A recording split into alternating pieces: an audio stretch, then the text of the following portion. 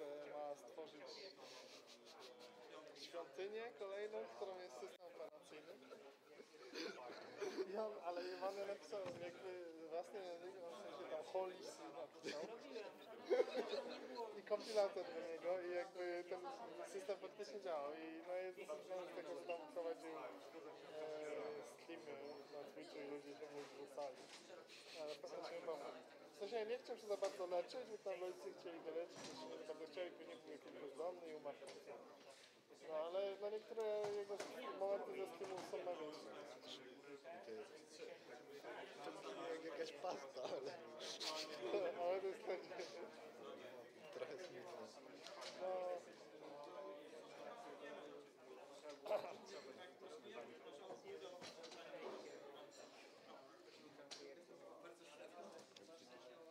jakoś że na ten tydzień w Discorda i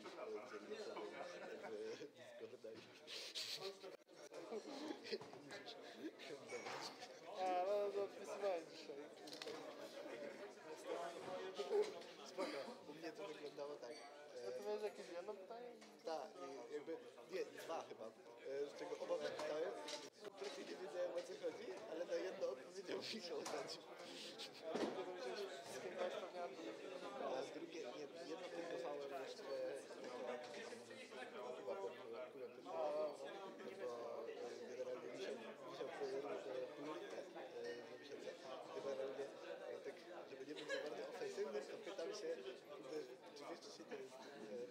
chcę. Dostałem jakieś to pół godziny przed, ale chętnie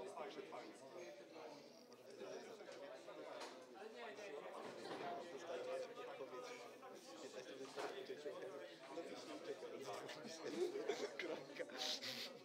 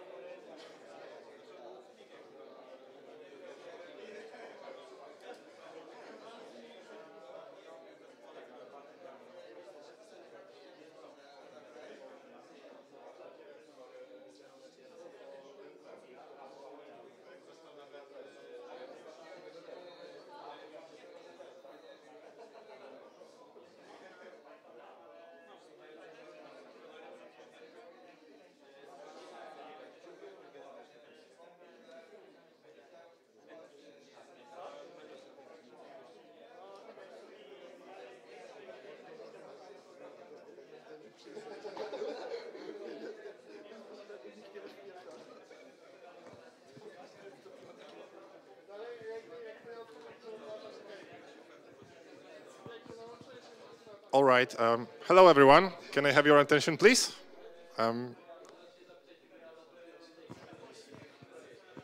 Mateusz. Thanks. Uh, hello, everyone. Welcome to the fifth edition of our Elixir Community Krakow meetup. as usual, um, you can uh, feel free to grab a beer from the refrigerator back there. Um, you can find the restrooms by the uh, elevators. Um, and uh, yeah, we can start with the with the today's uh, lineup. First presentation will be delivered online. Um, it will be um, Lars Wikman, um, the founder of Underjord. I hope I uh, pronounced that correctly. Uh, Lars, I hope you will um, correct me if I did this wrong. Oh, I can hear you. Great. Um, yeah, so um, if, if everything is ready, um, Lars, can you hear us? Can you say yes. something? Okay. Yeah, great. So we're ready to start. Um, right. Go on. The screen share going and everything. Can you see it all right? Yeah, it's fine. Great. I can see you. This is nice. So, yes, I'm Lars Wikman. I run a login site called Underjord. There's a YouTube channel, there's a newsletter, a little bit of everything, and I've been doing Elixir for a number of years. So, it's very nice to be invited to speak at these things. So, thank you to Elixir Community Krakow for inviting me. So, what you're getting now is the developer preview of my talk for ElixirConf EU. You get the first version before it's entirely ready and while it's still new and exciting. Before I remove any of the spicy bits and before I've ironed out all the bugs. So you'll be able to tell anyone in the community that you saw the talk before it was cool. now, let's see if we can move one slide forward. Perfect. So a little bit of background about me. Since the 90s, I've been trying to get computers to do what I want, and that's when I first touched programming. I got internet access, and I learned how to do HTML. I never went into computer science. I'm entirely self-taught, and my learning has always been driven by wanting to build things. I joke about having tried to build a button since 1996, and that's mostly true, because that's about when I learned some C++, and then quickly quit when I realized the book went into like classes and objects instead of telling me how to put a button on the screen. So when I found HTML, that was much better. That was much more satisfying, very visceral. I can put things on the screen easily. So I've always had to mix technically interesting work scratches the intellectual part of the brain with visually interesting work that feels tangible as far as software can feel tangible. things you can click, things that react. So theory is clearly not my strong suit, and while I enjoy some good like computer science and theory, I'm driven by making things real. So implementation, that's the name of the game for me. And as I've stumbled around building whatever tickles my fancy, I have run into things that are just do. Usually when a project is just about to get really cool, it also gets really, really difficult. And that could be because cool things are just naturally hard to do. Or it's the reverse, that things are cool because they are hard to do.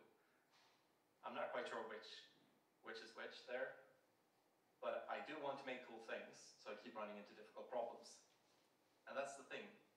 When you're executing on an idea, there are always new problems, new trouble to get into. Next slide.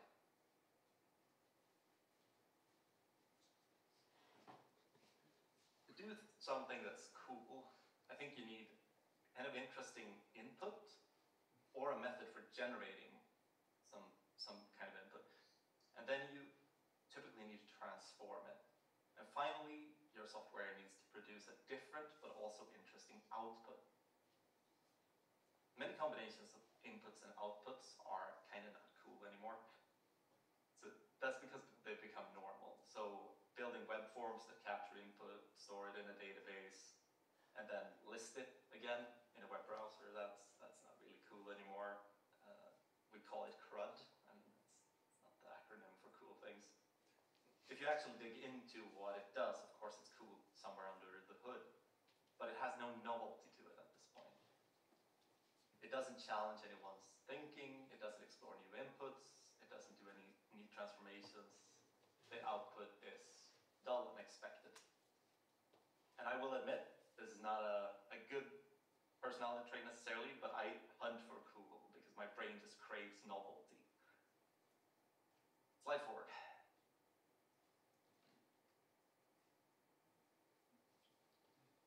Slide forward.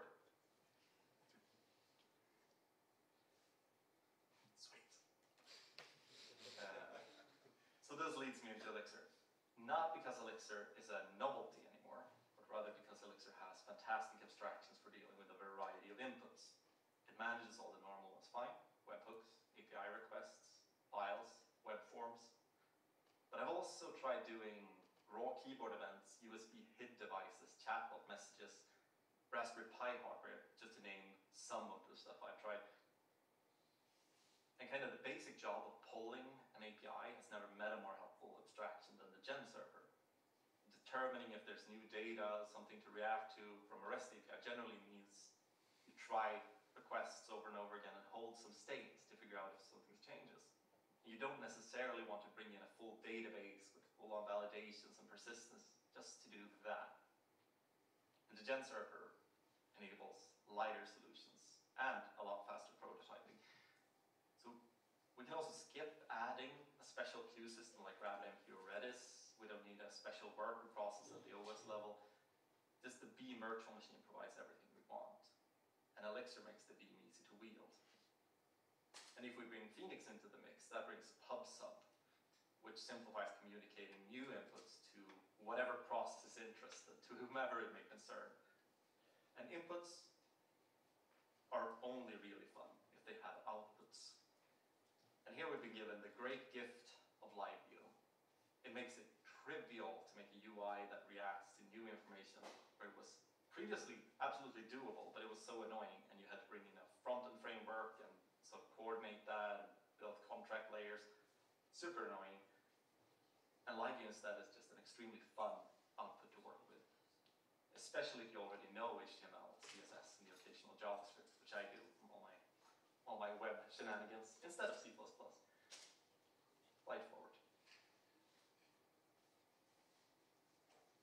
There are also other fun inputs and outputs to explore here. Erlang has WX for cross-platform native UI. It has live, like Elixir brings Livebook for interactive code notebooks. Nerves brings you sensors and hardware, and uh, Nerves Livebook brings both.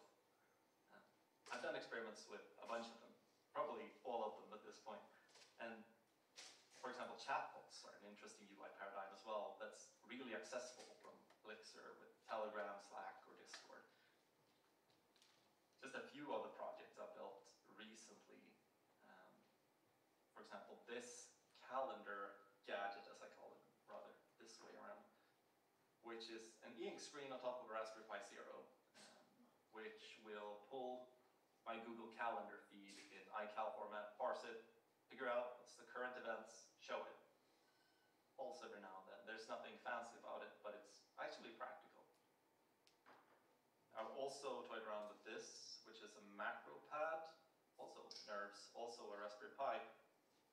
Um, and I use that to control the lights in my office for a long time, uh, just over Wi-Fi. Recently, and if you've followed what I do online, you might have seen this. Uh, I've played around with this. So this is the USB HID device I mentioned. So this is Stream Deck Plus. You get eight buttons, which all have screens on them. You get a small touchscreen strip that you can also send things to. And then you get these nice physical tactile knobs, which I can use now to adjust the lighting in my office.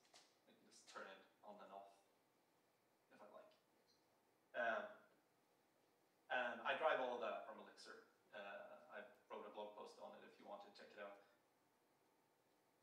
That's the kind of stuff I find fun, engaging, uh, and cool to explore. I also have built a few Telegram bots because I like the API and I like what it can do. For example, I have used Telegram bots for calling machine learning models at that point through Python, uh, and I showed some of that off during ElixirConf Africa last year. Uh, I just, like last week, built a small Telegram bot for my wife so that she can pull some reports that she needs for invoicing. Uh, and that was actually just a practical matter because it didn't need a cron job. and I just needed a way for her to trigger it. Uh, it runs on my local machine. Uh, just sometimes it's practical. Uh, another practical one I run is a LiveView app, which just pulls all the Nerves related projects from GitHub, just all their releases and updates, and summarizes that and helps me build the Nerves newsletter, which I publish. So there's a variety of things you can do, but it's all essentially inputs, transformations, and outputs. Next slide. What does membrane bring to the table? So I titled this talk Lively Membranes. Uh, if you've done audio or video on the web, probably aware that those are some opaque and annoying formats. You need to bring in FFmpeg to do almost anything to them, and you end up Google smithing your way to like this ultimate command line wizardry line, which you just never modify after that. If you need to change it, you'll just get an entirely new one. Like FFmpeg is cool, it's very powerful, it's incredibly flexible, it's a great piece of software but it's also really opaque and frustrating. It's not easy to work with. And that's probably mostly due to the formats it works with. Like video is not easy. It's actually hard. Is one of those cool problems. A membrane breaks apart the wizardry into discrete components. And then you can pipe them together and you can operate on them in a manageable way from a Elixir. So it takes a traditionally very difficult medium and makes it not trivial exactly, workable, simpler. You get to perform your operations from Elixir. Membrane will, when needed, work with FFmpeg or weird libraries uh, through NIF bindings. But the intermediate steps are all under your control, and you don't have to shell out to anything. And perhaps most importantly, the process of processing media becomes accessible in Elixir. And that is a major source of fun inputs. So you can work with things like time elapsed and progress. You can measure and indicate audio levels, even creating waveforms. You can dig into bit rates, sample rates, channels. You can slice out thumbnail images, split media streams for preview. You can delay, you can bleep. And then you can output as a file, a live stream, a transcoded output, or pretty much anything else. You have a lot of options at that point. When you have the inputs available to you, the rest it's just a matter of creatively applying them. And that's, to me, the fun part. The membrane provides inputs, they call them sources. Uh, it provides outputs, they call them sinks. It also provides transformations, and they call them filters. Next slide. Next slide. Oh no. It's going to move again.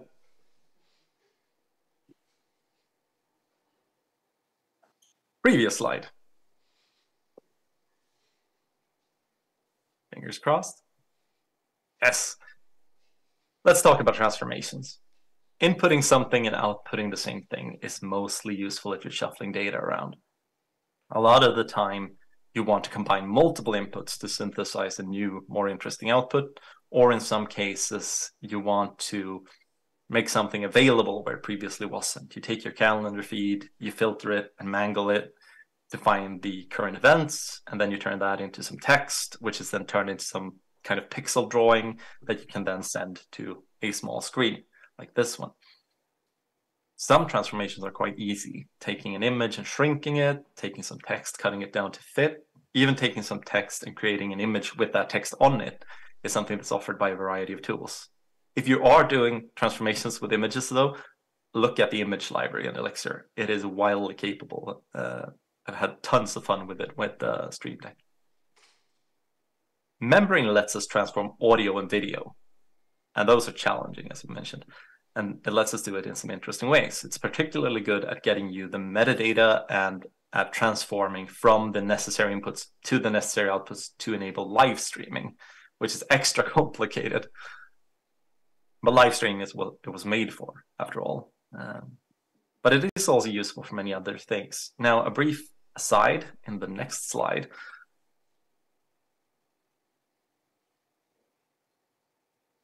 There's a new kid in town when it comes to transformations. I'm not a big machine learning enthusiast. Um, if anything, a little bit of a skeptic, but there is some undeniable utility in some of those models. And that in that weird world of math, some really messy formats, such as human speech, can be transformed with a useful de degree of accuracy into text. Automatic transcription is something I find incredibly useful, and it offers a lot of potential possibilities. Machine learning also allows a bunch of other transformations like OCR to turn text into mess into text in images into actual text. It also allows face detection to help you focus on the relevant parts of an image or to apply effects to faces, of course, like bunny ears or whatever you want. Amusingly, just recently, it also allows text to be transformed with very low accuracy into pictures. I don't think anyone has missed stable diffusion entering the scene, but and whether that's useful, practical, is really up for debate, but it does fundamentally do text to image transformation in a very novel way. Now, machine learning is complicated and it requires a fast language, it requires fast tools, and it requires a bunch of math to get anything done. That's why the pre-trained open source models are typically the most interesting to people like me. I just want to build stuff and try using this. And I have run a few of these models by shelling out to Python. Not the smoothest experience, it does work though, and if there's a new model in town, you can always try it that way. But this is where Bumblebee comes in. Bumblebee takes the promise of numerical elixir, NX, and it provides models that are ready to use in an API, which spares me from all the math. It also eliminates all the other work, and it eliminates the entire Python tooling. Uh, I did Python for years. Uh, I'm still happy to to be rid of that. with the initial release of Bumblebee, they launched with Stable Diffusion GPT-2 as the big ones, and then a variety of neat, smaller, probably models uh, for things like sentiment analysis of text. In this talk, I'm using what I believe is still an unreleased implementation uh, from Bumblebee's main branch of OpenAI's model Whisper and that does audio to text transcription, as you might have noticed. It is the single most practically useful model I know of.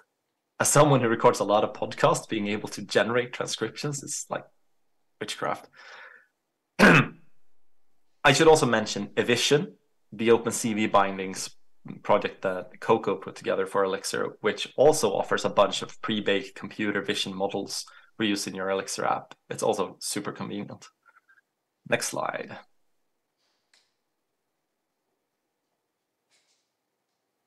The wild thing about building experiments like this in Elixir and Phoenix is that you can keep it all in your Beam application.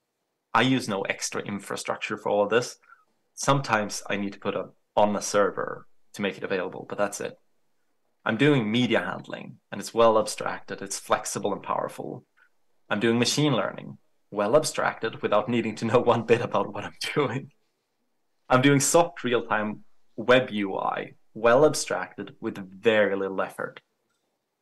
And I get standard means of communicating, coordinating between the components of my application, between all these inputs, outputs, and transformations through message passing, you know, just beam things. These tools are making hard things easier. And that makes them tools that push the boundary of what is cool and challenging you can see a cool startup like Supabase sell the capabilities of Phoenix as a product to ecosystems where real time is actually challenging. That's a good for them. That's a that's a nice business idea right there. And if you haven't caught on to it quite yet, this entire presentation is of course a live view application, a beam application. It's a mashup of inputs, transformations, and outputs. No particular part of it is very complicated. It's just all about capturing a bunch of inputs, applying some useful transformations, and trying to make the outputs as fun as possible. We can unpack this presentation a little bit in the next slide.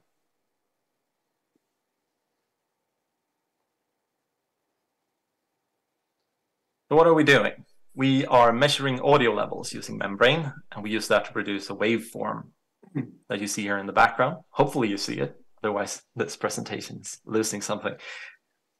Um, it just draws an SVG. And I love playing around with this functionality. It was also, ironically, one of the most tricky things to get, get right, uh, just from a visual standpoint. We also do a near live transcription of what I'm saying. Actually, we're doing two. So one low latency, poor quality, but near instant transcription, one second at a time. And then another slower, but better transcription using a five second chunk of time. And as we produce the transcriptions, we also take advantage of the transformation from audio to text and look for particular commands. This gives us voice commands that I can use to control these slides, as you might have seen. For example, I have the command clear screen, which resets the uh, transcription, it resets the audio levels, and then it keeps streaming. This is just a mix of parlor tricks and things that look fancy, but it's bundled up with some things that I think are genuinely useful. And fundamentally, I would just love it if you all leave this presentation with some sense of possibilities. Almost anything can be an input. There is a surprising amount of possibilities for transforming inputs, and there are a lot of interesting ways to output things. The trick, I think, is to creatively bash things together and build just a muscle of creation, a habit, practice, get some skill at putting these things together. Uh, and that really, really uh, opens up the limits of what can be done. Now, that's it for me. Uh, I am open to questions about how any part of this works or what I've tried with this. I'm happy to discuss any part of it. Hope it was interesting.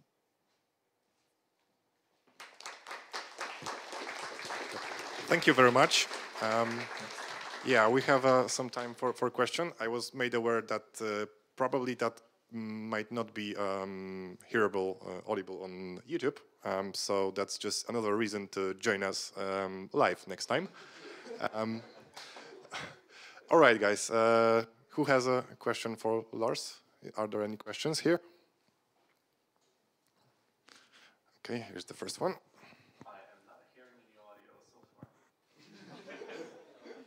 Hello, can you hear me? Yes, I do. Uh, yeah, so my question is, is like the code available anywhere? Like I'm talking about, you know, displaying this audio, having all this text oh, appearing yes. on the screen.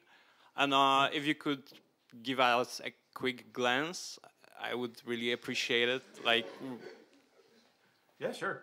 Uh, I'll drop this share and just share in code editor instead. Let's get into some some business. Uh, yes, everything is available on my GitHub, so github.com slash lawik. Um, there, uh, the entire presentation is available there. I prefer if you don't give it, but take any code you like. Uh, actually, if someone wants to remix the presentation, I'd be curious to see how that goes. Um, I'm not too uh, too particular about it. So uh, this has been some of what I've been hacking on. And this is a very, very messy project. It's literally one live view, one membrane pipeline, a separate uh, membrane library for some of the transcription work where I just built some some utilities. Um, there's an NX serving or a Bumblebee serving thing. No, wait, that's just me exploring NX. Never mind. But essentially, it's a live view and this is the state it keeps. It keeps a reference to the pipeline. Uh, it keeps a list of transcript entries. It keeps the instant transcript separately. It keeps a bunch of levels, and it's a map to that matches up with transcript indexes. Uh, there's some reasons to do that, but it's it's mostly to avoid uh, pulling in too many of the level samples. Uh, there's a counter for which slide I'm on. Uh, the actual sliding is just a JavaScript library I pulled in reveal.js because that's not what I wanted to build. Uh, and there's, I don't think I even used these two. Uh, those are leftovers. Here's some leftovers from me experimenting with with it on a machine where I couldn't get the microphone input to work, so I just had fake data, so I could do some design uh, experimentation on it but things like uh, I'm grabbing certain things that Whisper will output when if I'm not speaking for a bit. this will actually it will output silence, silence, silence, silence, and I just map those to nil and then filter out all the nils. Similarly, keyboard clicking, clicking, blank audio, typing. Um, but there's there's nothing fancy here because all I'm getting is text. Once you have the text, it's not particularly difficult. It's just like how do I how do I detect a text a substring in a text? Uh, it's not that difficult. If string go, contains go to slide, there's absolutely nothing smart going on here. Um, so there's that, and then there's the pipeline. Hold on, I need to look behind my camera to actually uh, there we go. Um, and this consists of, uh, well, it can switch between a mic and a file input. In this case, I'm running off of a mic, uh, which uses port the port audio plugin. Then it's an audiometer, the converter, which just makes it a known shape. So uh, float 32 little endian because Whisper likes those. I timestamp them with a special element I built for that. And then I do the quick transcription, which is the buffer duration of one second. And then I use uh, the other transcription, which takes, uh, well, this is five seconds, but it's variable. And then I actually just dump the data I don't keep it around. I put it in a fake sink. Um, I link all these up. I handle some notifications. So I've set up Whisper to send me membrane notifications when it completes transcripts. So I get these and I broadcast them and the live view picks them up. There is absolutely nothing particularly weird going on here. Like the weirdest things are building SVG draw commands and counting bytes. Uh, that's that's about it. So that's a little bit of the code, uh, but everything's available on, on GitHub. Uh, the transcription membrane uh, library and this entire presentation. So go for it. It's called lively, you'll find it. Yeah, great stuff. Thanks. So my question is, um, because it seems you bridge like really a lot of various tools, and um, the question is if you had any particular difficulties with like joining this all together, and with reasoning about all this stuff, uh, or it just went smooth and it, it just like it looks like here? it was definitely programming, so it was not all smooth. Uh, doing some of the trickiest things was just, uh, for example, chunking the audio in a way that was useful to whisper. So Membrane already uh, chunks things into uh, buffers of a of what it considers appropriate sizes. I may be, even be able to configure that in some way that I haven't explored. But I built an element that essentially captures the number of seconds of audio, sends that off to Whisper. Uh, it always passes the audio on. It doesn't wait for anything. Uh, so you get the transcript as soon as possible. And the audio pipeline keeps going uh, as fast as it can. But that meant I needed a strategy for sort of how do I figure out where I am in the audio if I want want them in a particular order and if I want to know when it starts and stops. So one of the things I'm doing is I'm actually showing which second um, a particular transcript starts at because uh, that's something I wanted in the presentation. But essentially, once you realize like, oh wait, I'm actually giving it a very consistent shape here. Uh, these are 32-bit floats at a known sample rate of 16,000 uh, hertz. So 16,000 samples every second. And a single channel. Then I know how much data is actually in a second. So then I just have to watch, okay, have we captured that amount of bytes? That means we have five seconds, send it to Whisper, move on. Um, and that bit took me uh, like before I realized how simple it could be. Uh, I tried a bunch of things that did not work very well. Uh, so that was probably the trickier part. And but the really difficult work has been done by the membrane team, by the people that do Bumblebee and provide me with Whisper in a way where I don't have to use either Python or FFmpeg. Um, so no particular difficulties with like making things work together once I've wrangled the data correctly. And I think that's one of the challenges in Membrane, like getting the format you need and uh, figuring out how to use it well. Uh, because most of us don't think in audio and video pipelines. Thanks a lot. Okay, are there any other questions? I don't see anything. Yeah, okay. So thank you very much, Lars, for joining us. Um, My pleasure. And hope to see you uh, in Lisbon uh, in April. Oh yeah, um, head in there. We'll see how what this talk looks like at that point. I think I might have gotten a few ideas. Actually, if you have ideas about what should be in uh, be mashed up or something you'd like to see, uh, feel free to reach out at Mastodon or email or wherever. I'm pretty available. Elixir Slack works as well. All right. Thanks for listening. Thank you very much.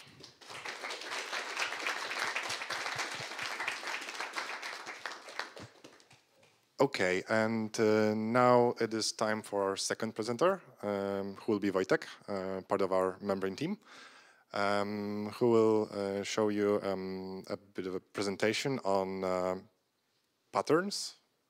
Um, yeah, can you you can uh, get here and set up things.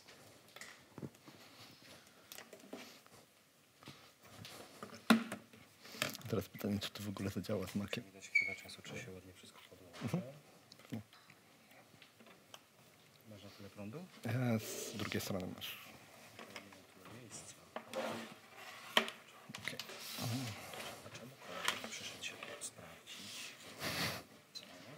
In the meantime, I can say that uh, the pizza will uh, arrive uh, around uh, um, an hour, I think, like, uh, after the presentations.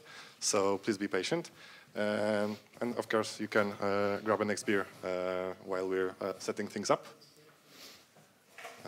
we're just waiting for the screenshot to appear.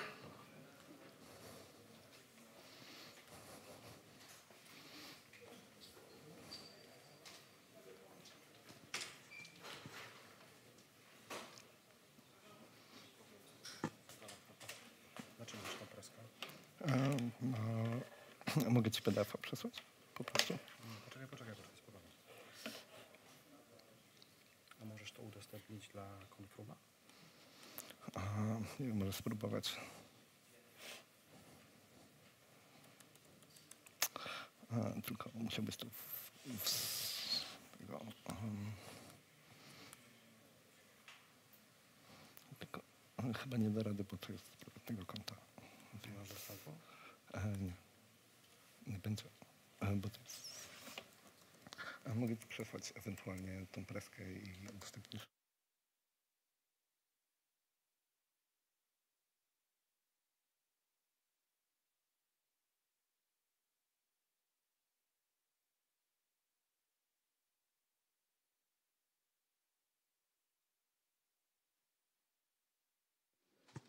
Turns out this Mac isn't compatible with our hardware.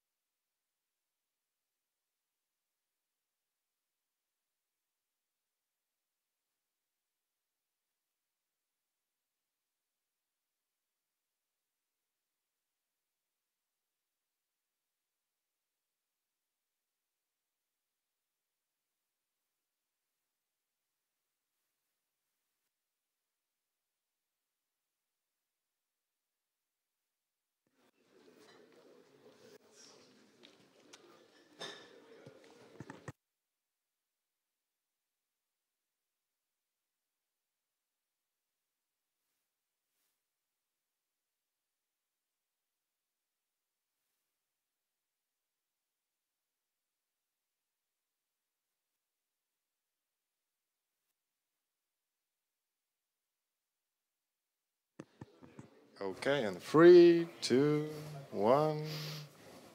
Yay! So Success. Okay, Yeah, you can continue. The stage is yours. So, hi, I'm Wojtek, and today I will talk a little bit about design patterns in Elixir. So, uh, throughout the last few months, I have been working on Membrane, and coming from more object-oriented languages into Elixir was quite hard, to say the least. Uh, this is how my first PR looked like, or this is more accurate description of it. Uh, so the reason why uh, that was the case is because the object-oriented design patterns I knew from other languages didn't uh, translate that well into uh, functional programming. Uh, so the reason why was that in the functional world we use a little bit different approaches to many things.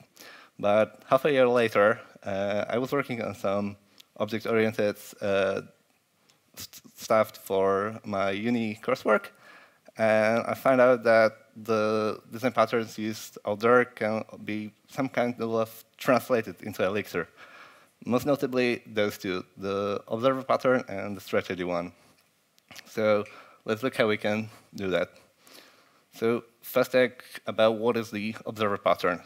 So when we talk about observer pattern, we have some kind of object that state is changing, and other objects react to those changes. And instead of manually sending all these, managing all these states, uh, we can have a simple solution that uh, will allow other objects to subscribe for any of those changes. So uh, the problem I was solving was a simple uh, evolution simulation where there were a lot of animals on some kind of map that transformed their state, and you need a lot of other components to get notification from that transformed state. So uh, in Elixir, we can do that with using processes, and other processes can subscribe to the ones that are the states are transformed, and with allowing simple interface for subscription and unsubscription, uh, and the simple notification uh, function, we can simply send any uh, information about the changes of the state. So the next pattern was the strategy.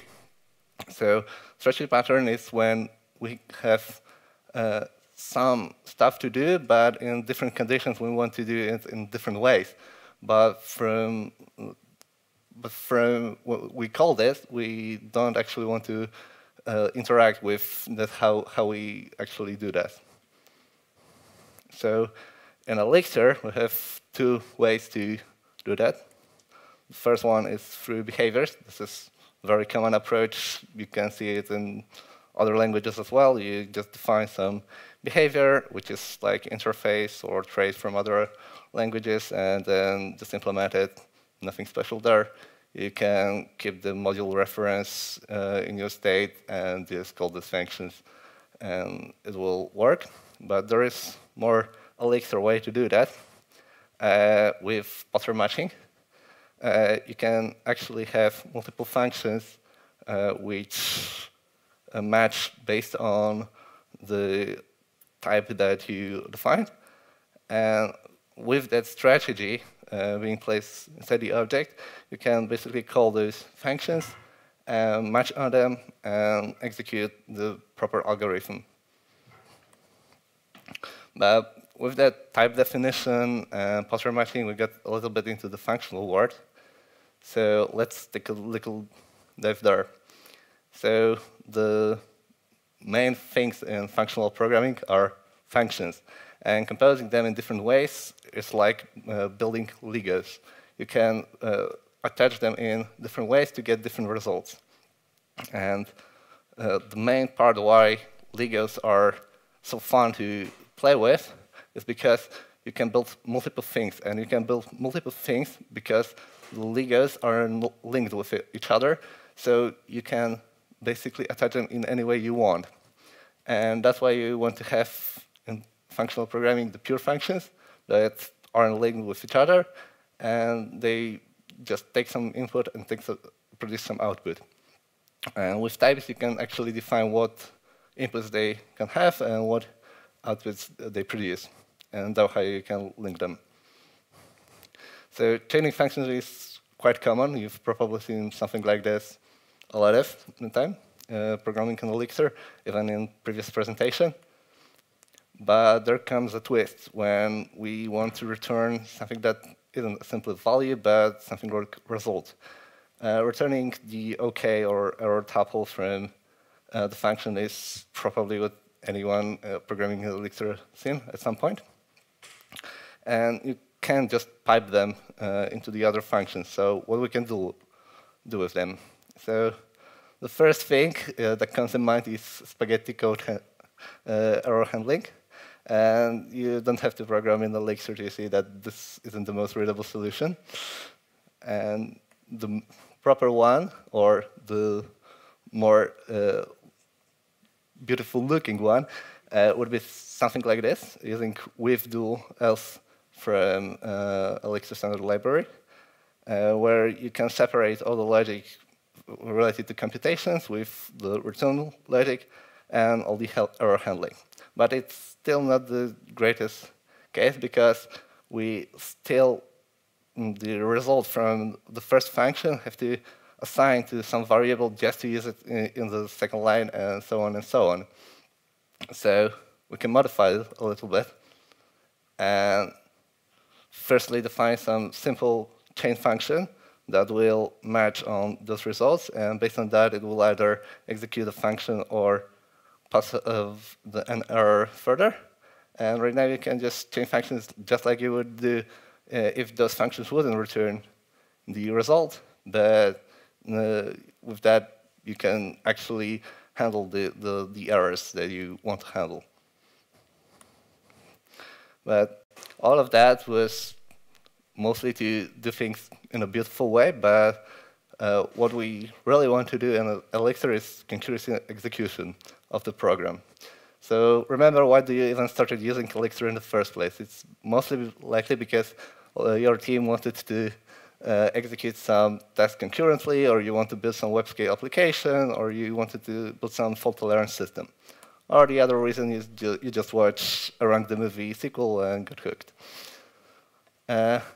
Before I move on, there's a quick disclaimer. The rest of this presentation was most likely stole from uh, Davon Aston from the Lambda days. But this is what José did with Erlang anyway, so let's move on.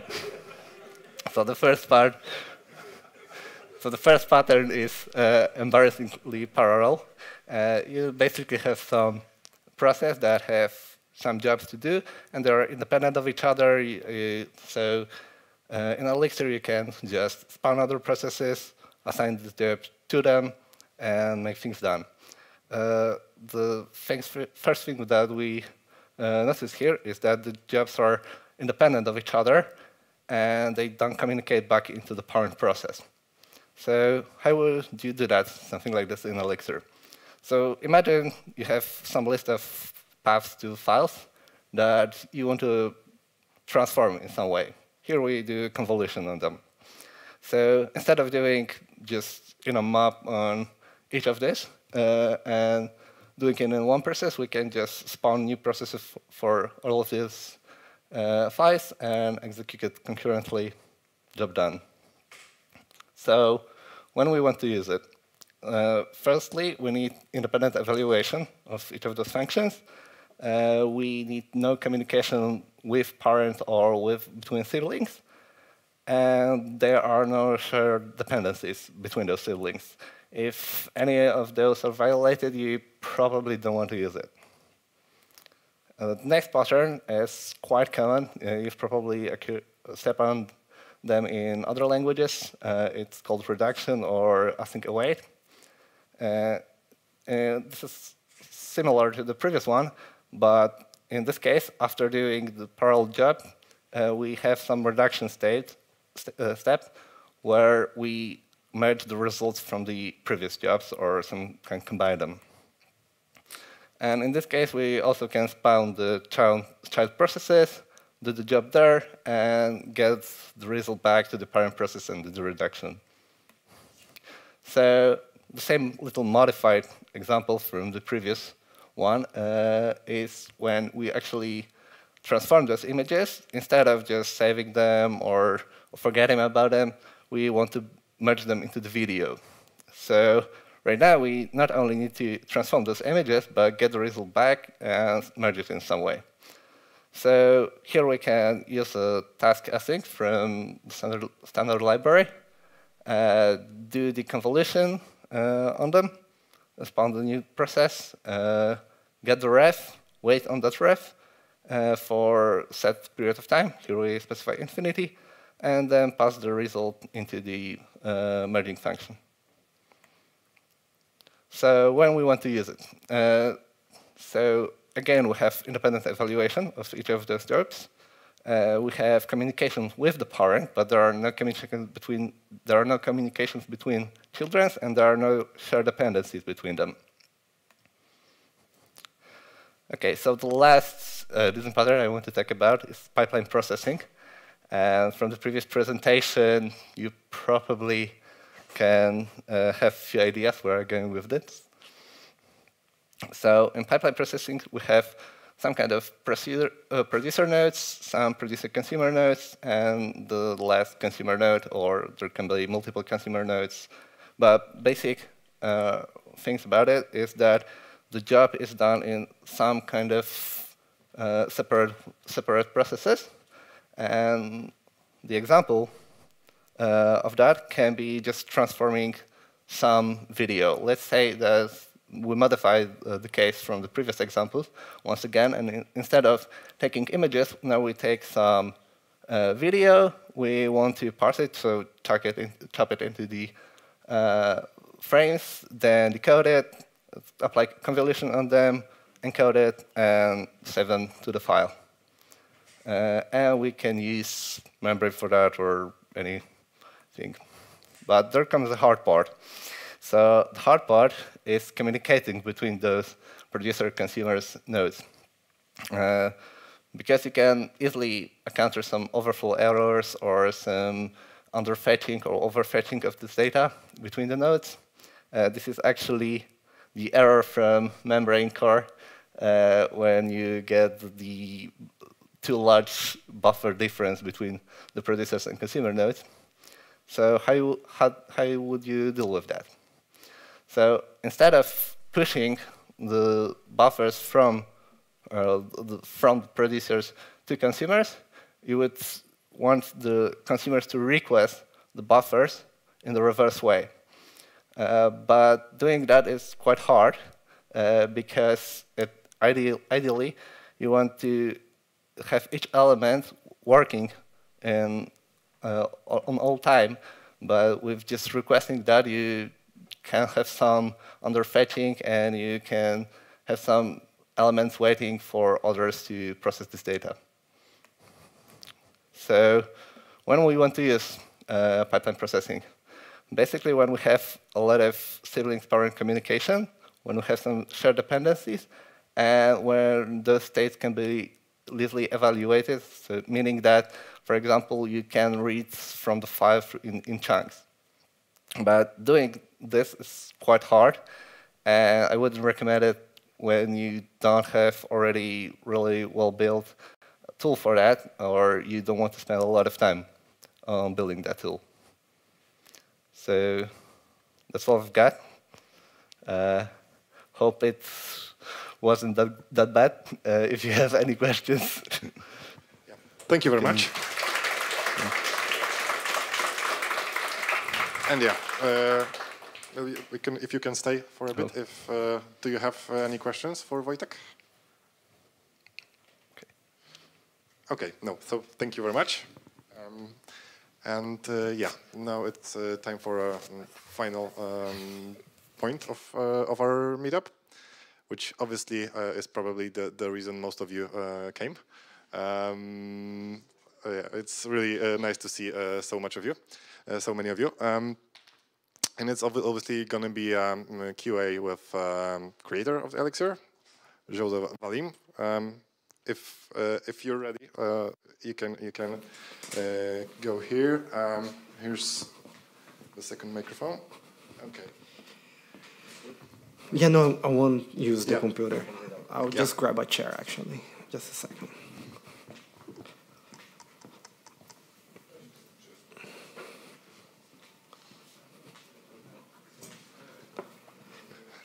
I'll just sit here. I want to use the projector, so Okay. maybe we can turn on the lights and uh, Um, can you turn on the lights? please. Oh, All right, how's everyone going? Good? Wojtek, just one tip.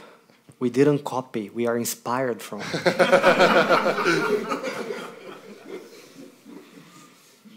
Yeah. All right. So, uh, like for those who are watching online, you can also ask questions on the chat. There's, oh, uh, yeah. The person. cam- is the camera pointing there? And then I sh-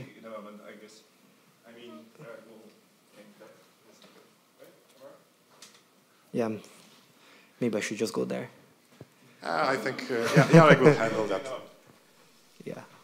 Yeah, but I think we can. Oh, the camera is moving, so uh, I think uh, we're good. Um, yeah, so we can start. Uh, who has the first question?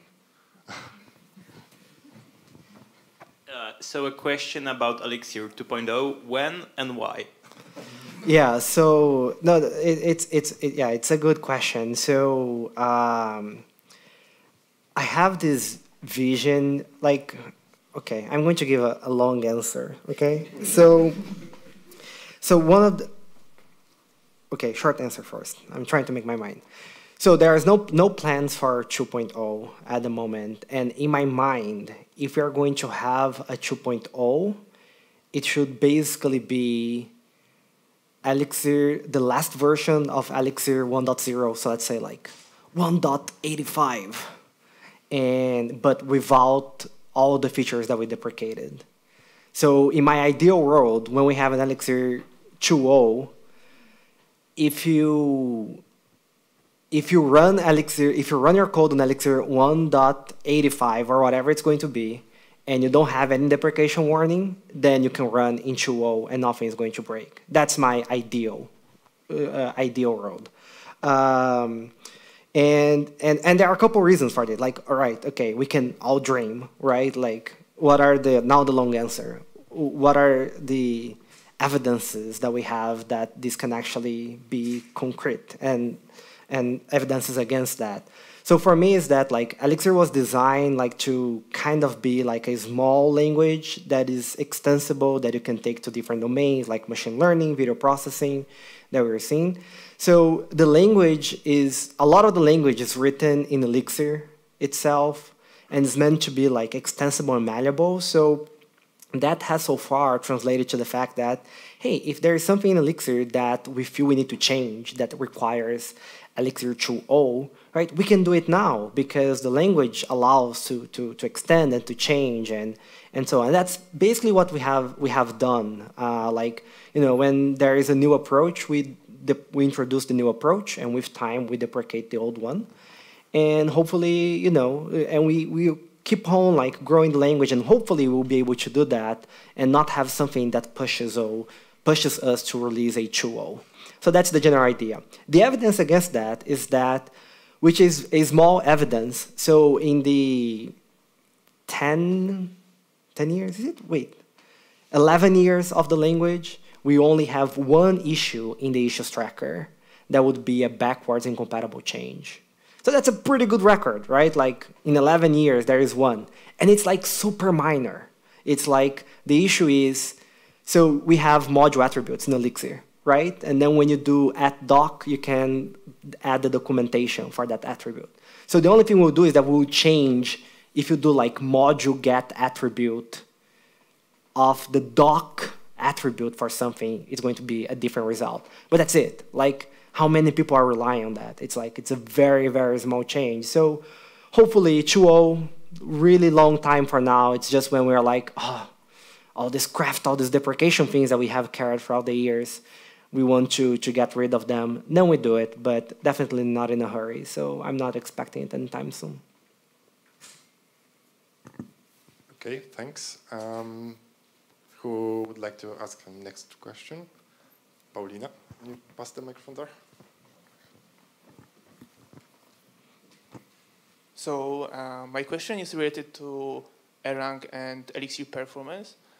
Um, don't you think that data immutability and message passing made the whole uh, language a little bit slow and uh, limit the number of use cases where Elixir can be successfully used?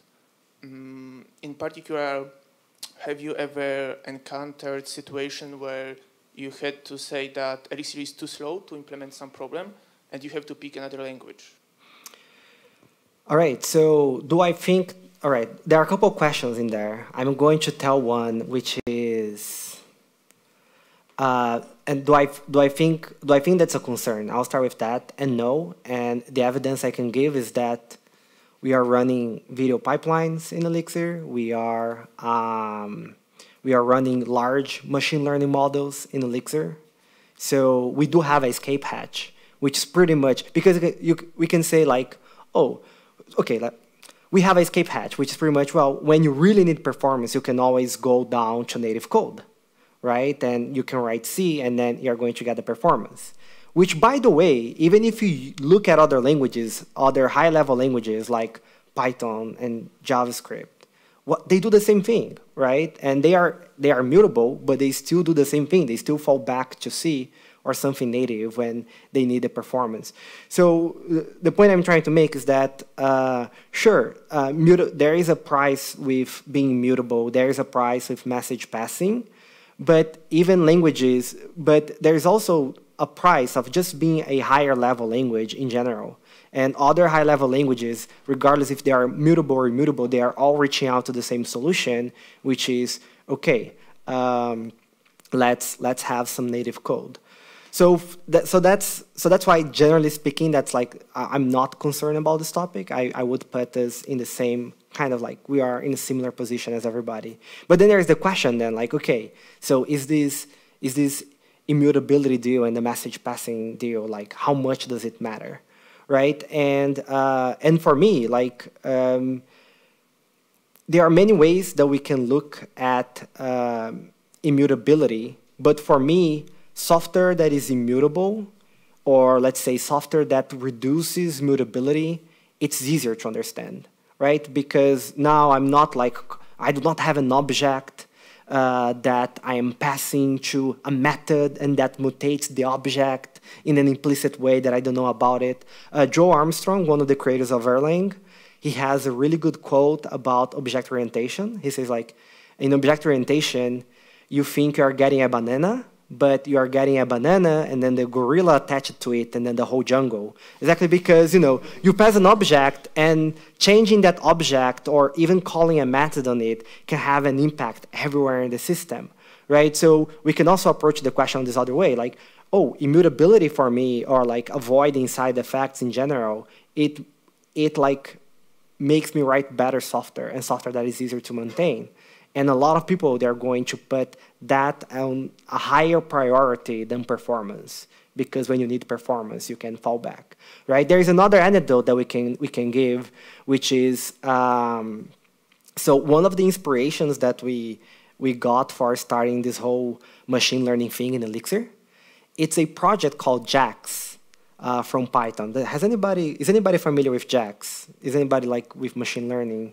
Okay, right? And this, it's, it's very and then it was like very like the, I I love the project. The project is very interesting. It's a project from Google, uh, and it was like uh, an inspiration, uh, and it was an inspiration for us. And then we were reading the JAX docs. They were like, it's a Python library, right? And they were like, well, uh, when you are working with JAX, uh, you should treat all JAX data structures as immutable. And then I'm like, huh, right? I, I, I know a language where kind of everything, you don't have to treat it. I know a language where things are actually immutable, right? And then later on, there was a quote like, well, in JAX, you should write your code in a functional style. And then I'm like, oh, I know a language where you can write your code in a functional style. And, that, and, and the reason why is because uh, what they are doing is that when you're writing, when you're using this library in Python, what you do is that you say like, look, I want to multiply those two matrices. It's not like multiplying those things at the time, like when you call it, it's actually building a representation of a program that is going to compile to run on the GPU later on. And then they figure out that if you want to build something like that, immutability and functional programming is actually a better abstraction. Right, so, um, but yeah, no, there are, but to answer the question, yes, there are also cases where we're like, oh, like if things were mutable, I would squeeze more performance from this for sure. And then and then I either figure something out that I can squeeze that extra thing, right? So there are cases where I would say, okay, immutability would have helped.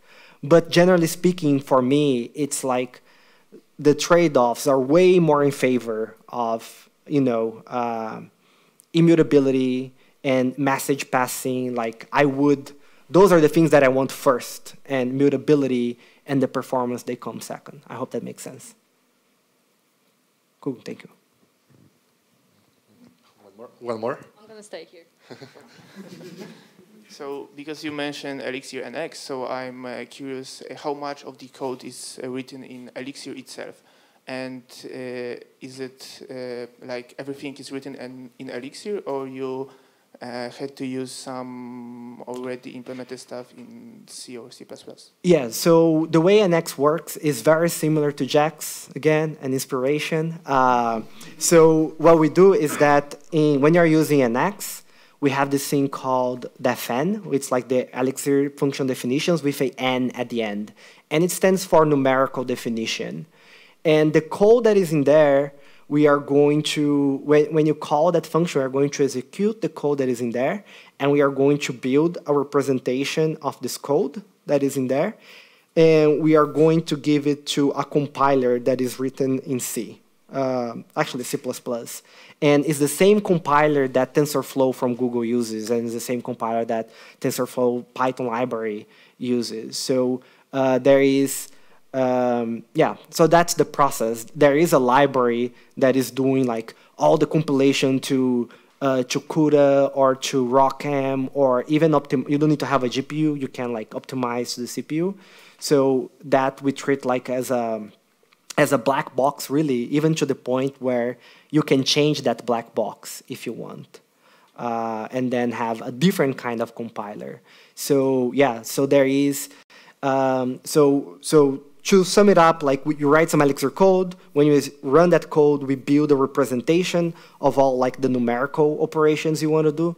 We get this operation, we send to a compiler that is written in in C, C++, and that compiler is going to give us a code that we call, and that's native code, uh, that or GPU code, and then we call it, and it's going to do things super super fast. Here's another one. Okay, I got a question from the chat from our stream on YouTube from Wojciech Orzechowski. What is the most challenging thing you would like to implement in Elixir or libraries you contribute to? Yeah, I think uh, staying on the same topic, the whole the whole machine learning thing is probably I'm not sure if it if it would be the most challenging, but definitely for the last years has been the the challenging one because it's it's a huge domain and it's also a domain that is like it's in flux all the time. As we know like every every week there is something new happening and then you try to you have to process those news both from like uh, well what is happening with my life perspective but also it's like from like oh what is the technology be behind it perspective? And and i think there are a bunch of like exciting challenges just in general i like to say like i still like you know i can't it's still for me like hard to believe that we have like a subset of Elixir that runs on the GPU. It's something that if you told me like 10 years ago, I would be like, nah, you know, it's that's that's a lie. That's not that won't happen. Uh, so um, so yeah, I would stick with that answer. But in five years ago, it would have been something different, and maybe five years from now, it's going to be something else as well. So. Okay, so taking advantage that, that I sat here, um, I, will have a question. Um, I, I, would like to jump, jump back those uh, like 11 years. Like uh, I was wondering, uh, what were your thoughts? Like, how come you came up with the idea of bringing to life a new programming language? Yeah, so uh, actually, it's something that many of you uh, may relate with. Um, it was very cold outside.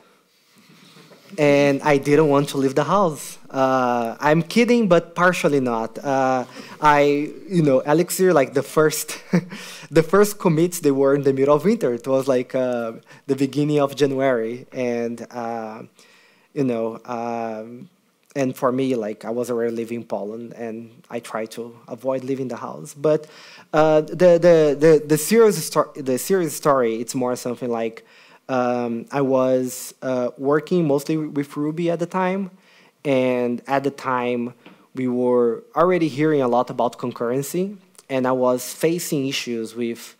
Uh, trying to write concurrent software or debugging concurrency issues in Ruby and uh, and then everybody was saying like concurrency is the future and and so on. And i was like well if this concurrency thing is going to be the future like maybe there are better ways of solving those problems that i'm facing right now. Like maybe there is some other language that is that are doing things better. And I like to say you know like that future somewhat became true because like you have a wristwatch that has four cores right? So the whole story is like you know like uh, people are saying that the way we write software has to be different. We have to write a way, we have to write software that is going to become uh, where concurrency is the first, uh, is one of, of, the main concerns of the software. And then, uh, and then I was like, okay, if, if that's happening, I should prepare myself. I started looking around and I say there are like two points of no return for me. Like it changed, it changed the way I would think about software. The first one was when I found functional programming. And one of the reasons we're talking about exactly for me today, like functional programming, like the code is easier to maintain because I don't have like things changing everywhere. Uh, but for me at the time, because a lot of the issues that I had uh, that I, was debugging in relation to concurrency, because well, imagine you have two cores, like two CPUs in your machine, and they are trying to change some place in memory, right? And then if you don't coordinate properly, if you don't put a lock, it can corrupt that memory. Uh, and then functional programming will say, well, we, we are not mutating things in memory. We are just, it, everything's immutable. We just transform it. And then, and then for me, it was obvious. I was like, you know, like all those issues I have been having, like trying to debug, trying to understand, if I was writing it with this functional style, the issue would disappear completely. And for me, I like to say like, that's my favorite way of solving a problem because you can solve a problem like, you know, putting a tape in there or like adding something to it that addresses it. But if you can remove the problem altogether, like the root of the problem altogether, uh, that's better. And I was like, okay, this is great. And then I was like, okay, I have to learn more about functional programming. And so I started to learn more about Haskell, Scala, and eventually I found Erlang. And uh, Erlang for me was, so the thing about Erlang was that, like, if we go back 11 years ago, all the languages that were coming up at the time, like Go, Clojure, they all had a concurrency story. Like they're like, oh, you, you can do async. You have like Clojure had the the the software transactional memory. Go had the Go routines with channels. So everybody was talking about concurrency. And the thing that stood out about Erlang was that not only they solved the concurrency problem, but they solved the next problem. Because what is the next problem? Imagine that you write a software and you want to run it on your machine and you want if your machine has four or 16 cores, you want that software to be as efficiently as possible. That's the concurrency. But if a machine is not enough for whatever reason, you need more machines or you know uh, you, you want to have some reliability, now you need to have like several machines working together towards that problem. And that's the distribution. And that Erlang already solved it. And Erlang solved it, you know, today it solved it like four decades ago, right? At the time it was three decades. And, and I was like, this is this is awesome because not only it has solved the problems that I want to solve, but for me it solved the next problem as well, which is when I'm going to need distribution. And and and that was the reason for Elixir. It's really if there was no Erlang, I don't think we would uh, Elixir would exist. And then I just wanted to try different ideas on on the virtual machine. And from this winter exploration of ideas, uh, you know, some stuck around, and that's why we have Elixir, pretty much. Okay, thanks. And kind of a follow-up to that, um, like at the beginning, was that uh, like a side project for you, or at some point you decided like th that uh, you, the existing software and programming languages are no good, and you want a revolution and Yeah. create something on your own? Um, so it started as a as a learning project, pretty much, uh, and and the whole history is on GitHub, so you can actually like. Uh, and the first prototype was actually really bad because I basically I was like, okay, I want to learn more about Erlang and how it works, because I was like, I really want to use this technology, but I needed projects, I needed like ideas to play around, and one of the ideas was uh, creating a programming language uh, especially because I don't have the computer science background. So I was like, well, might as well like learn how programming languages work while learning how the Erlang virtual machine also works. Like try to to get two birds with one stone. And um, yeah, so at the beginning I was like, okay, I'm just playing around, and then I built a prototype. It had a bunch of like flawed ideas. Like the first version of Elixir was actually object oriented. It was just never released. It was just a prototype that I was experimenting with, and um, and then with time, and then like this prototype failed. I actually stopped committing with the project. But I was thinking like, oh, okay, like I had those ideas. They were bad. Why they were bad? How they could be better? And then I was like playing with these, you know, like just sketching things around. And then eventually, I think I came up with like the the abstractions that I thought, wait, you know, like I think those those abstractions here they make sense.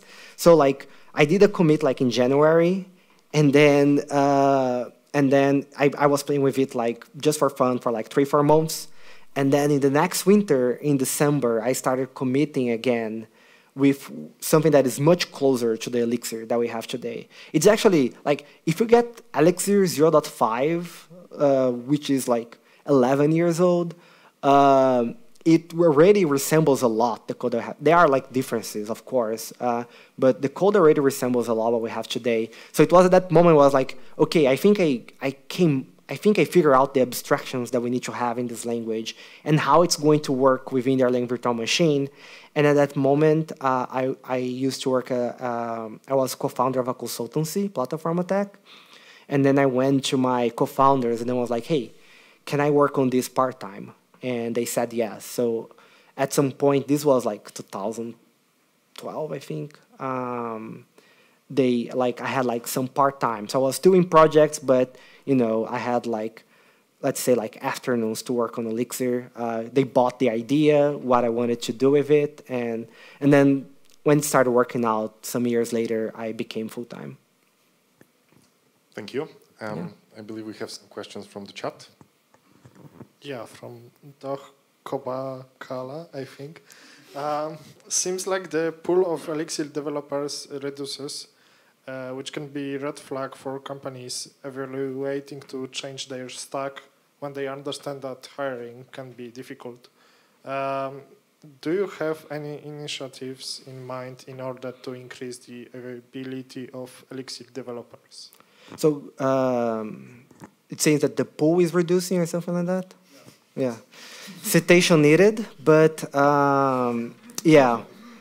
Yeah, so usually what I say is that, um, and this does not apply to Elixir. Well, my it's hard to say if the pool is increasing and reducing. Um, if you're going to take it seriously, like usually the data that I have, it's it's actually very hard. Like people ask, like how many people are using Elixir, and I'm like, I have no clue because uh, like there is no way for me to collect this data because there is like I cannot even tell you like based on how Elixir is installed because there are so many ways you can install Elixir and they're not and I do not have this right? But like things that we have from like events like uh, we're going to have like Elixir conference in Europe uh, now in April and it's going to be the biggest Elixir conference in Europe that we have seen so far like by number of attendees.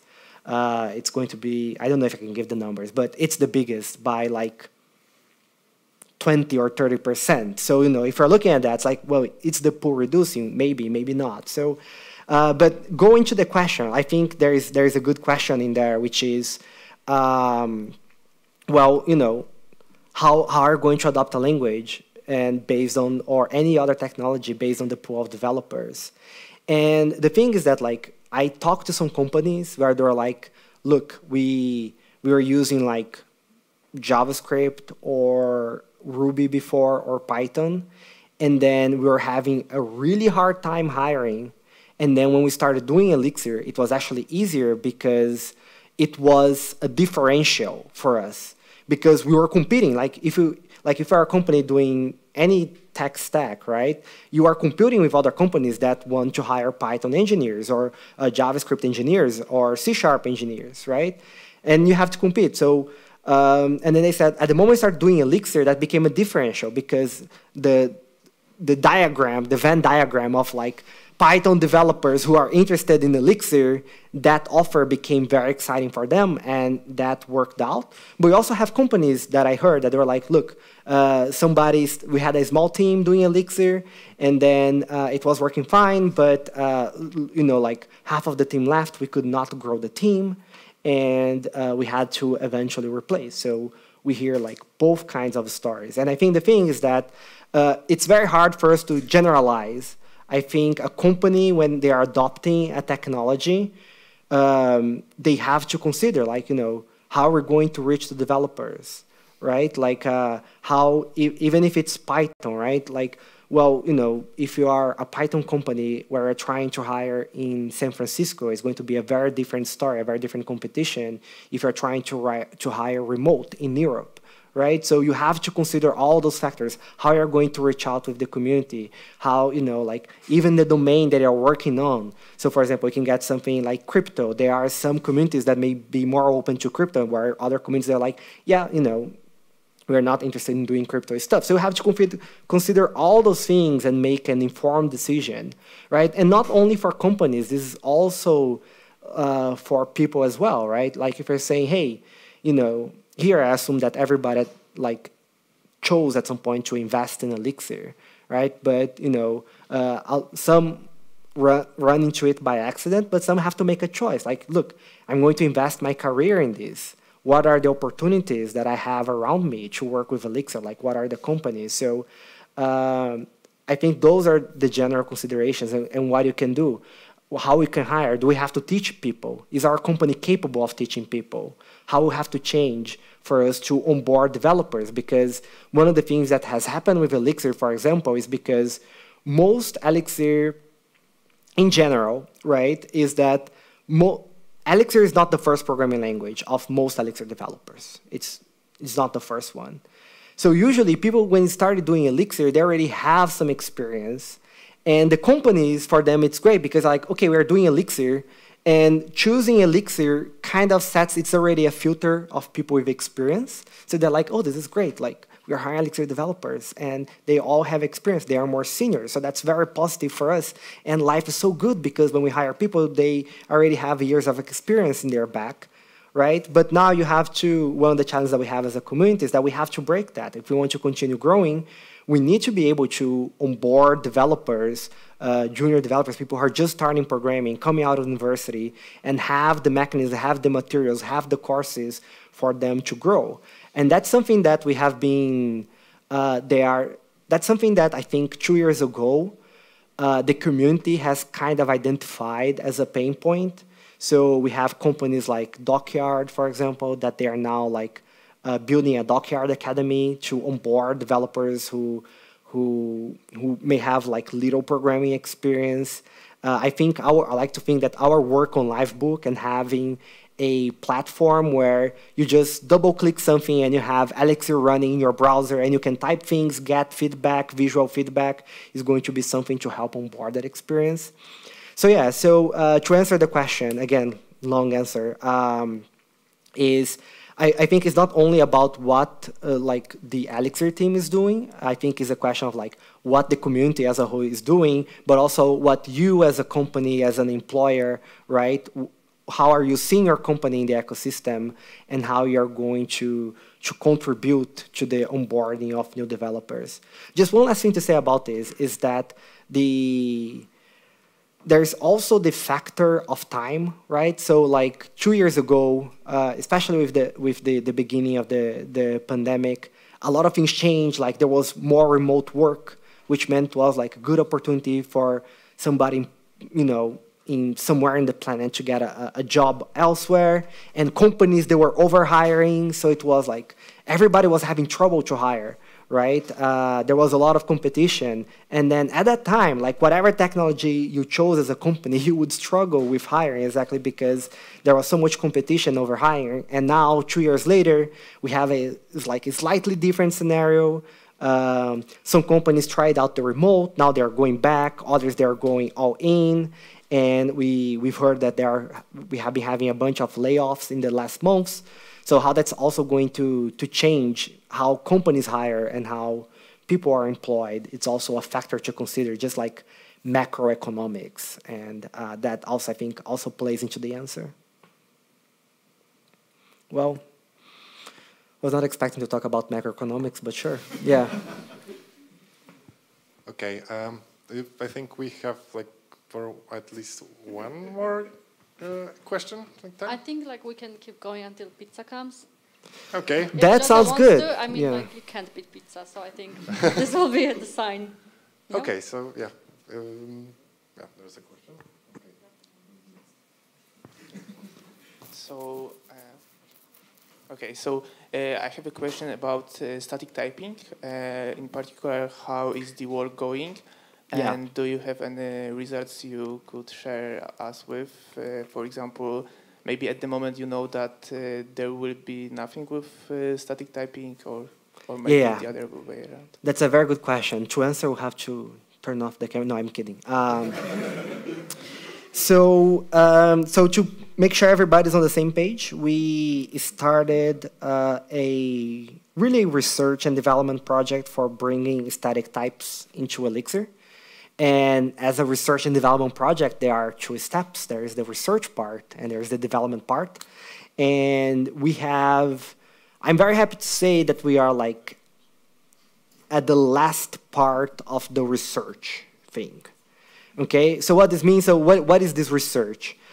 Basically, we there is a type system. Uh, there are several types of type systems, uh, and we are working with one which is based on set theoretic types which I find I personally find very intuitive because it's everything is based around set operations that we learn like school or high school or something like that, right? Like it's like unions of sets, like intersections of sets.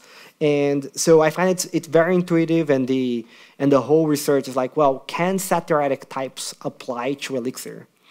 And to answer this question, we we break into two things, which is, well, what are the things that we can do with Elixir today that we can model with set theoretic types, right? So if you say, look, this function can return like an integer or a float, a number, right? That's a union between integers and union integers and floats, right? So it's integer or float, that's what you get. So the work is like applying everything that you can do with Elixir, like think about case, pattern matching, guards, intersections, protocols, behaviors. We look at everything the language can do, all the data types, maps, lists, tuples, and like how can we model all those things with set types. So we did that, and when we did that, they were like, okay, this works for set types, but there are those things in the language that uh, we don't know how to model them. And now we have to do research. We have to answer the question like, all, all those things that we don't know how to do, can can we figure out a way of doing it? So, and some of those were big, like uh, can we type all of the guards with set theoretic types? Guards are very important with Elixir, and if we can't do that, then the solution is not going to be good for us. Another one was with maps.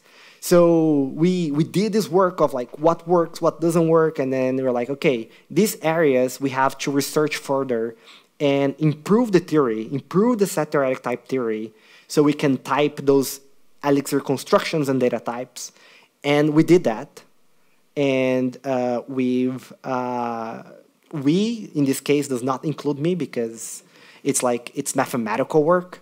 Uh, so uh, Guillaume Duboc, which is the PhD student, and uh, his tutor, is that correct word? Uh, the, the researcher, Giuseppe Castagna, they are the one working on this. And they figure out those hard problems and uh, they are writing papers right now. So you know we can they can publish uh, the papers, and then it's going to go to like academic conferences where people can validate those ideas, see if they make sense. And, and, and that's, so that's why right now, like we're writing papers and we're going to write a, something that is called a position paper. It's just like a high level overview of everything that we have been doing. And this one is we because I've written a little bit. Uh, um, and I, I hope we're going to have it out like relatively soon, let's say in the next three months. So that's where we are. And then we finish publishing those papers. We, it's going to validate. Maybe people are going to find things to improve. And then we can hand into development, right? So that's the stage where we are. So, and then we're going to develop, we're going to find a bunch of other challenges. Like maybe we're going to start implementing. They're like, oh my God, like it's super slow. We have to figure out ways to optimize. And maybe we won't figure out a way to optimize. And maybe the whole idea will have to throw it out and research maybe something else, another type system. But that's why right now, like research, we've we did we did the research work, and now we are finishing it up, like publishing the things that we need to do, get, getting some uh, theoretical uh, validation, and then we can start with the development, which is also going to be like a long-term thing, but you know. Um, not committing with, with anything, but I think like in a year for now, maybe we are going to have like some beginnings of uh, set theoretic types in the Elixir compiler. You as a developer are probably not going to interact with it yet, but the Elixir compiler may start to know about those things and start to, to reason about your code in a different way. And we'll start assessing like, how does that impact the compiler? Does it make things slower? Does it make things faster? Can it find some bugs for free? You know, and and yeah, so that's where we are in this journey, um, going from research into development. Um, yeah, thanks for asking. Okay, there was another question. Uh, so just by looking at your like GitHub activity, we can see that you take part in a lot of projects like uh, Core Elixir and other stuff like Ecto and so on. Uh, I myself remember putting some uh, PR to Livebook at Sunday 11 p.m. and you responded like in three minutes. So my question is, when do you sleep? Um, yeah, so uh, that I usually I'm not at the computer at uh, 11 p.m. on a Sunday, uh, but I I do have kids, so this this could have been like um, the answer. Short answer: When I sleep is when my kids let me. That would be that would be the the most appropriate answer. Uh, but sometimes you know it just happens that like they wake up and then you know I lose my sleep, so I'm I'm going to do like some phone browsing or email browsing until I can recover some sense of sleep, I guess. Um, but yeah, um, yeah, I try. You know, outside of that, I try to to to live a normal life. um, yeah. Thanks. Um, there's one more. Uh, okay, so I wanted to ask, are there any plans for improvements of Elixir language server or any official support for any IDE? Because uh, sometimes writing in Elixir, even with like great tools like Mix or Hex, feels a little bit like writing in Notepad when you don't have a lot of uh, features from other languages like automatic functions renames or variables renames and stuff like that. Yeah, so um, we Dashbit supports uh, Łukasz, who is one of the maintainers. Like we support Łukasz to work on it part time, um, and I I recommend everybody to to get involved. It's an open source project, so um, you know, like get involved. There's probably already a community around this, like um, that is thinking about those problems. I think we I think we recently we they um, they recently added like the first refactoring, which was like convert from pipeline into pipeline or something like that. So some base work happened, and now maybe they are starting to to to do more of that, and we can start having like more refactorings, bigger names, and so on.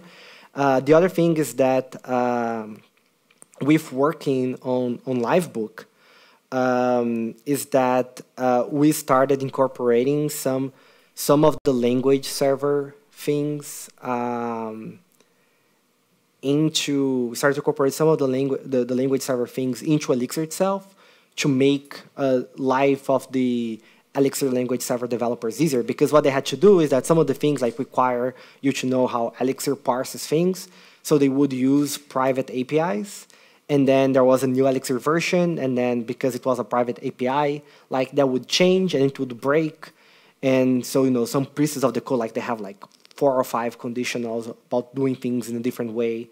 So what happened is that when we started working on Livebook, it turns out that like Jonatan, he was implementing the feature for Livebook, which I had implemented in IEX, and Marlus, which was one of the one of the initial people working on the tooling around the language server, he was also working at Dashbit.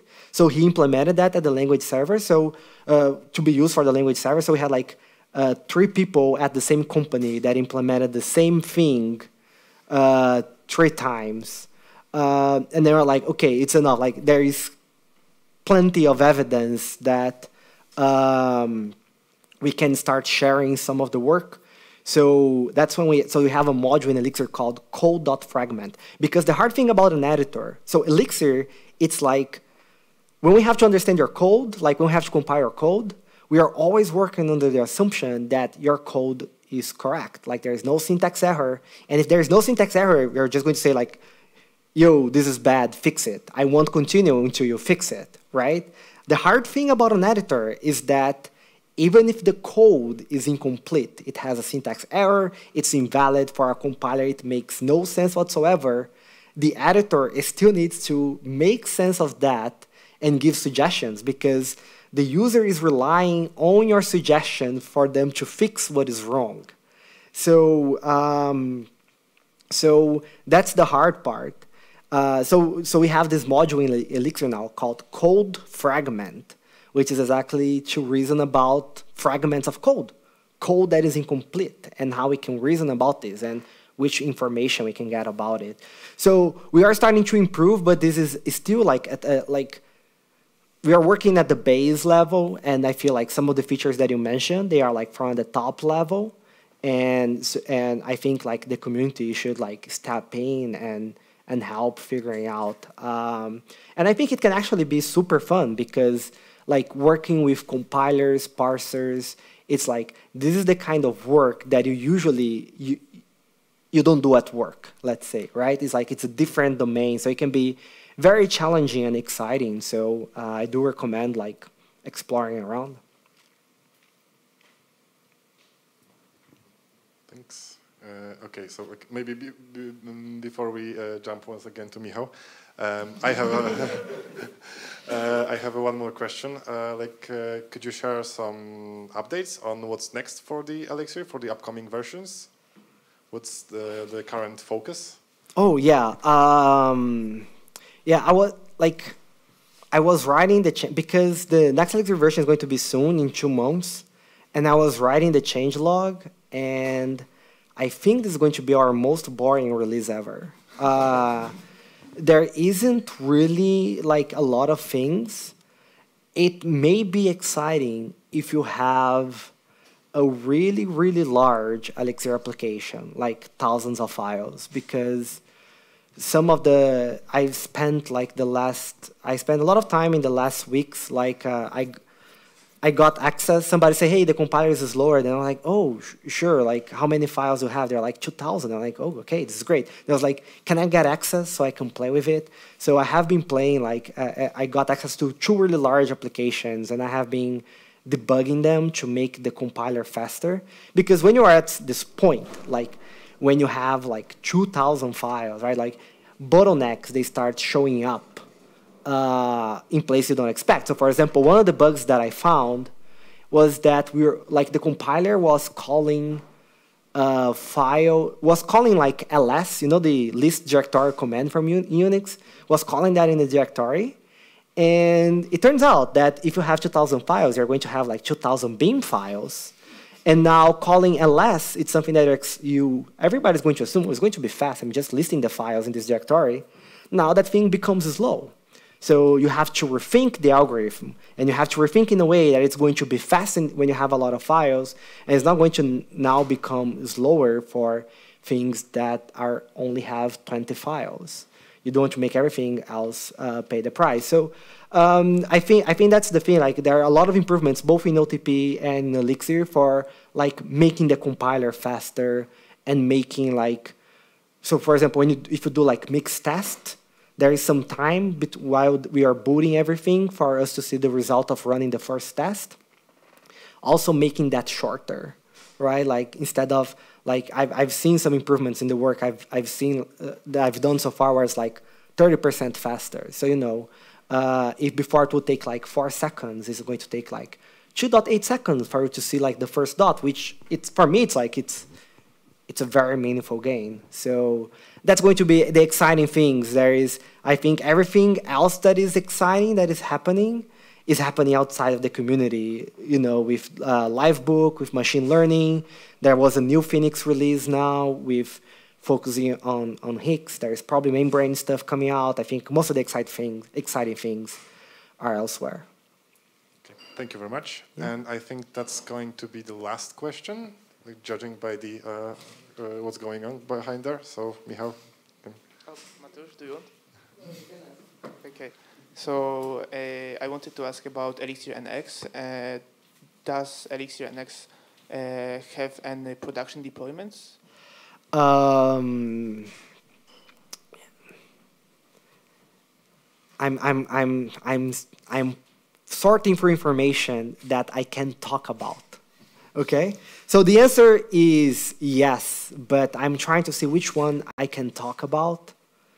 Um, did anybody see like the Chris, Christopher Grainger keynote at Elixir conference United States? Yeah, I'm almost sure that he that's public, and I'm almost sure that he talked that he's using both NX and Explorer. And there, and I know of another case that I am working to make it public. Um, yeah, so I I think I know. Yeah, so the answer is yes, but you you can you can probably count on both hands. That's where we are. The goal is to count on both hands and both feet, and then move on from there. Yeah. Baby steps. Okay, so thank you very much. Yeah, thanks, thanks everybody for, for joining. Um, yeah, mm, thank you. Yeah, so yeah, and wrapping up the uh, the the meetup, uh, you can uh, find the pizza over there, I think. Uh, so thank you all for attending, and uh, have a good time. Thanks.